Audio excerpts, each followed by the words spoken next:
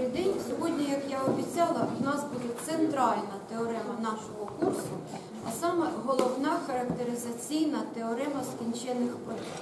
Але спочатку треба ще деяке е, означення ввести і деяку теорему, яку ми приймемо без доведення, але для тих, хто цікавиться, то можете подивитись доведення у нашому навчальному посібнику. Там її доведення є. Так, е, запишіть е, маленьку тему поле розкладу поліному.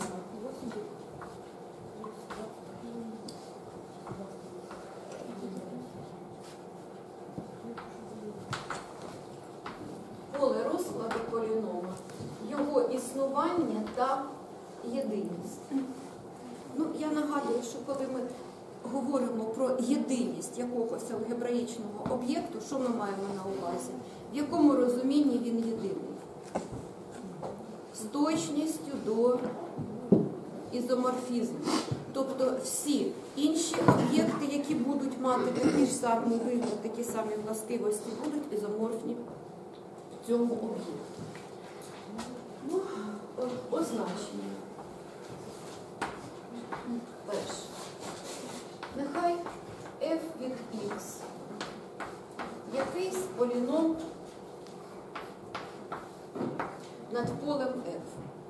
Репетикс якийсь поліном над полем f. Ми будемо казати, що поле L є полем розкладу поліному f. Поле розкладу поліному f.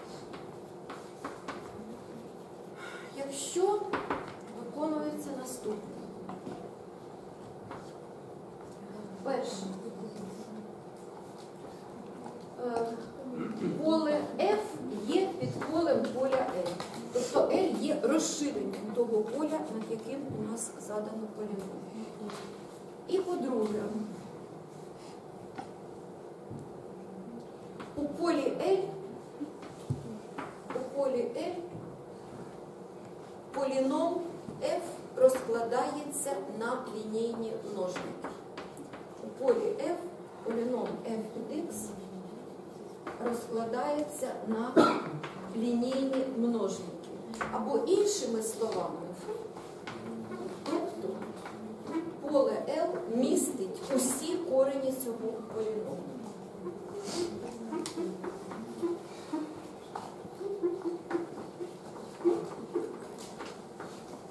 Тобто поле L містить усі корені цього поліну. І зразу теорема про існування та єдиність поля розкладу, як ви вже зрозуміли з її назви, теорема перша для будь-якого полінома F над полем F велике. Поле розкладу існує. поле розкладу полінома f існує, і воно єдине з точністю до ізоморфізму. Тобто ми можемо побудувати кілька полів розкладу, задати їх кількома різними способами, е, але вони всі будуть між собою ізоморфні.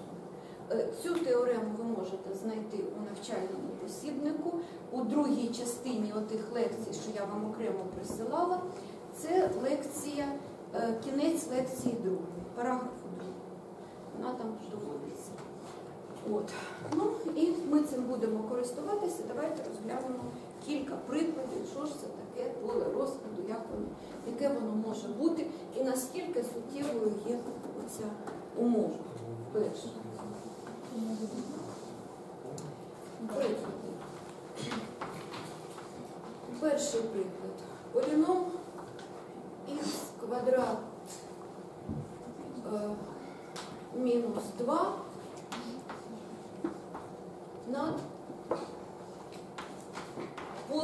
полем раціональних чисел. Яке у нього поле розкладу? Дійсні числа. Зрозуміло чому? Чи ні? Чи не дійсні числа? А яке? Може трошки менше? Так, Вибачте, я, я зрозуміла, звідки була помилка. Я е,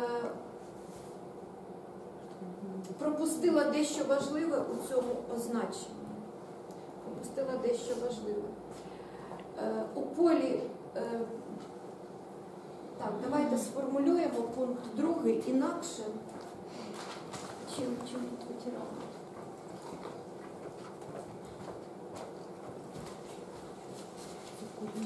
Крім того, що L має бути, має містити всі корені поліному L, L повинно бути іще й найменшим.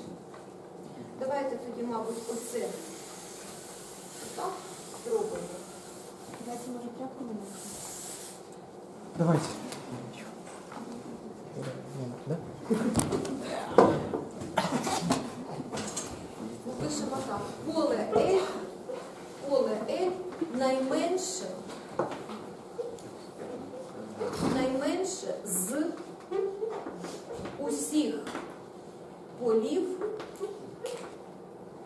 що містять усі корені полінома L. Що містять усі корені полінома L. Тепер уже е, відповідь на це завдання, я думаю, буде вірно. Просто розширення ну, як корені слов, якщо додати до Да. Поле розкладу буде Q додати корінь. Ось таке поле розкладу, якщо ми цей поліном розглядаємо над е, множиною раціональних чисел, над полем раціональних чисел. Якщо ми цей поліном розглянемо над полем дійсних чисел, то яке в нього буде поле розкладу? Х квадрат плюс 2 над дійсних. Яке в нього буде поле розкладу? Таке саме чи воно зміниться? самі дійсні числа. Дійсні числа. Е, Чому ми не можемо взяти менше? Взагалі-то, щоб там усі корені були, то достатньо оцього. Да? Але в нас є вимога перша, що оте поле розкладу повинно містити те поле, над яким розглядається поліном. Тобто в даному випадку полем розкладу буде R. І третій пункт. Цей же самий поліном над полем комплексних чисел. Яке в цьому випадку поле розкладу? Комплексні числа. Так, зрозуміло. Тобто, ще раз, поле розкладу суттєво залежить від того, над яким полем ми поліном розглядаємо. Воно не може бути меншим від того поля, над яким ми розглядаємо цей поліном. Так. Е, Чи є питання до цього значення? Так,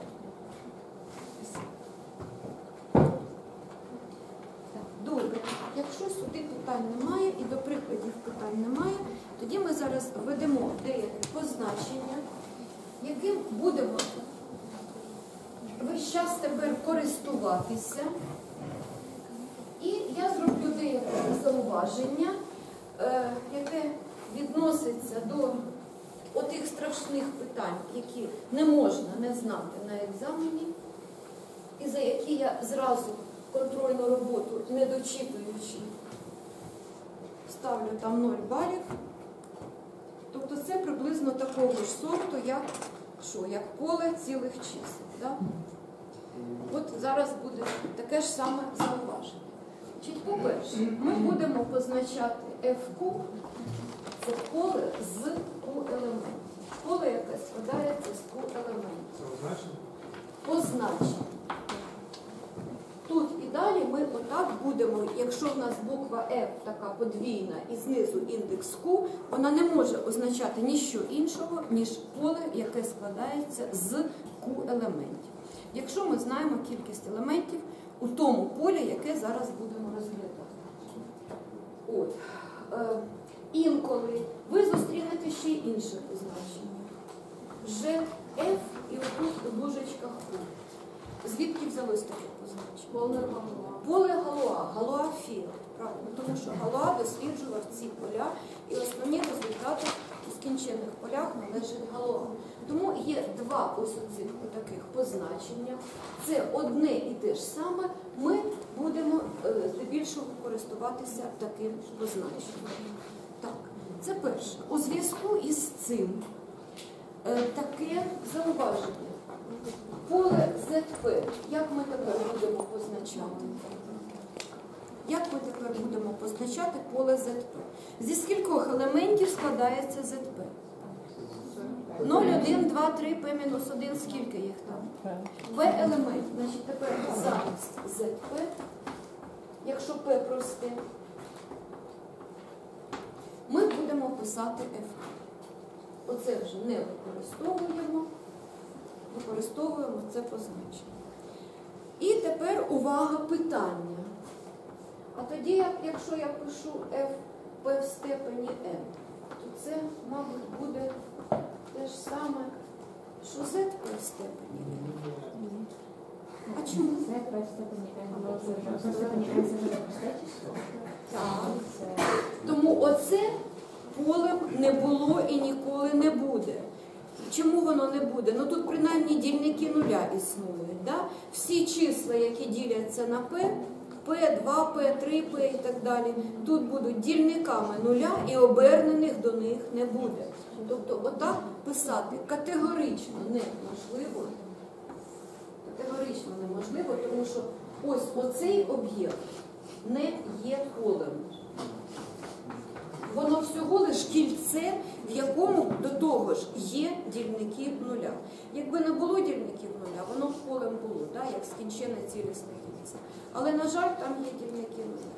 От, тобто, ось оця рівність да, а оця рівність категорично ні. Так, які є тепер іще питання? Всім зрозуміло, чому да і чому ні. Добре. І тепер розглянемо, доведемо таку простеньку, кілька простеньких лем, які нам потрібно буде сьогодні в подальшому викладенні. Якщо тут немає питань, то я це вибираю. От і згадуємо, що таке мінімальний поліном елемента і як той мінімальний поліном будувався.